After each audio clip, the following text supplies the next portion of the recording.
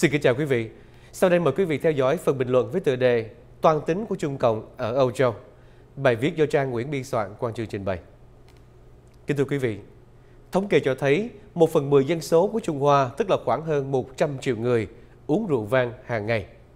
Rượu được chuyển từ Pháp về và đáng ngạc nhiên hơn là từ các trang trại ở tại Bordeaux của nước Pháp, có chủ sở hữu là người Trung Hoa. Cho đến nay, người Trung Hoa đã mua tất cả 140 trang trại nho ở vùng Bordeaux, dù chưa thể nói con số này là lớn vì nó chỉ chiếm khoảng 3% diện tích đất trồng nho ở đây. Thế nhưng, những nơi khác trên đất của nước Pháp, việc mua đất của người Trung Hoa không hiếm. Đáng nói là người Trung Hoa không chỉ muốn sở hữu những chùm nho ngó ngọt trên đất của nước Pháp, mà hiện tượng mới hơn và gây tranh cãi nhiều hơn là mục đích mua đất của người Trung Hoa trong những năm gần đây. Tại nước Pháp, các nhà đầu tư của Trung Hoa đã mua hàng ngàn hecta đất canh tác. Gần đây và nhất là cuối năm ngoái, một thương gia Trung Hoa đã mua gần 900 hecta đất trồng trọt ở vùng Alien, miền Trung của nước Pháp. Ông ta trả 10 triệu euro cho thương vụ đó. Ông này cũng chính là đại diện cho công ty đa ngành có tên là Reward Group. Thông tin này đã khiến cho người dân địa phương ngạc nhiên. Không ai hiểu vì sao mà Trung Cộng lại muốn mua đất ở vùng quê yên bình của họ. Theo cách nhìn của người Pháp, thì điều này không chỉ gây bất bình mà còn rất nguy hiểm. Những trang trại nho ở Bordeaux là một phần di sản văn hóa của nước Pháp và thật đáng xấu hổ khi mà những trang trại này lọt vào tay của những trọc phú không tên tuổi. Công ty khổng lồ Trung Hoa này trước đây cũng đã mua nhiều đất ở miền Trung của nước Pháp. Và cho tới nay, họ đã là chủ nhân của tất cả khoảng 3.000 hecta đất canh tác ở tại bên nước Pháp. Thế nhưng, Reward Group không phải là công ty duy nhất muốn sở hữu đất canh tác ở Pháp. Tờ báo kinh tế có tên là Challenges cho biết là một công ty lớn khác của Trung Hoa cũng đang xúc tiến những thương vụ mua đất tương tự ở nước Pháp. Và theo tin từ báo này, thì một công ty đang được giấu tên và có lẽ đã thuê một văn phòng luật ở tại Paris đứng ra để thương thảo về việc mua những cánh đồng trồng yến mạch ở vùng Baus, phía nam của nước Pháp. Chủ của công ty này được tìm ra chính là tỷ phú Ho Kewin và có vẻ như là ông đang có những dự định rất là lớn.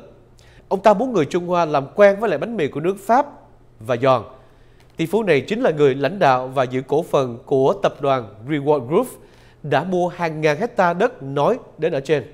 Và trong vòng 5 năm tới thì ông sẽ khai trương đến 1.500 lò bánh mì trên khắp Trung Hoa, nơi người ta sẽ bán bánh mì được làm từ ngũ cốt của nước Pháp. Ông ta nói với lại báo chí rằng bánh mì của Pháp sẽ chiếm lĩnh thị trường của Trung Hoa và sức mua sẽ khổng lồ. Ông tin rằng thế hệ trẻ của Trung Hoa sinh ra từ thập niên 80-90 của thế kỷ trước đã đi du lịch nhiều nơi trên thế giới và sẽ thích bánh mì Pháp của ông. Ở Trung Hoa, Pháp là thương hiệu được tin cậy. Reward Group đã quảng cáo ở Trung Hoa rằng họ bán các sản phẩm được làm ra từ ngũ cốc của nước Pháp. Tập đoàn này tin tưởng việc xuất cảng ngũ cốc từ Pháp về Trung Hoa là rất triển vọng về kinh tế bởi vì ngoài thương hiệu ra thì nó còn bảo đảm khâu an toàn thực phẩm. Reward Group đã hợp tác với một công ty ở Pháp nhằm tiếp thu quá trình sản xuất và công nghệ của Pháp về an toàn thực phẩm. Đối với lại Hu Kelvin, những thương vụ mua đất này là việc kinh doanh, nhưng với Trung Cộng thì nó là một chiến lược quốc gia. Thông qua các thương vụ này thì Trung Cộng muốn bảo đảm lương thực cho công dân của họ trong tương lai. Về mặt địa chính trị thì Trung Cộng muốn vươn cánh tay của mình bao trùm kinh tế châu Âu không chỉ là để phục vụ nhu cầu trong nước mà còn vì các lợi ích chính trị khác. Hiện nay, Trung Hoa có 1,4 tỷ dân, tức là 20% dân số trên thế giới. Nhưng quốc gia này chỉ sở hữu có 10% đất canh tác của thế giới. Tương lai tỷ lệ này sẽ giảm đi vì dân số tăng lên, trong khi đất canh tác sẽ bị đô thị hóa. Trung Hoa đang tính rằng nên mua đất canh tác ngay từ bây giờ. Bởi vì theo họ trong tương lai, việc mua đất sẽ khó khăn hơn dân số trên trái đất tăng lên không ngừng cùng với lại hiện tượng sa mạc hóa do trái đất nóng dần lên và môi trường bị hủy hoại. Pháp không phải là một quốc gia duy nhất mà Trung Cộng mua đất.